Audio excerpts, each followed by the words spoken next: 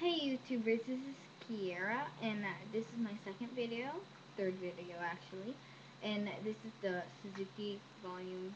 song, called Song of the Wind, Suzuki Volume Books 1, Song 2, and it's just, they have one repeat, and please comment, rate, subscribe.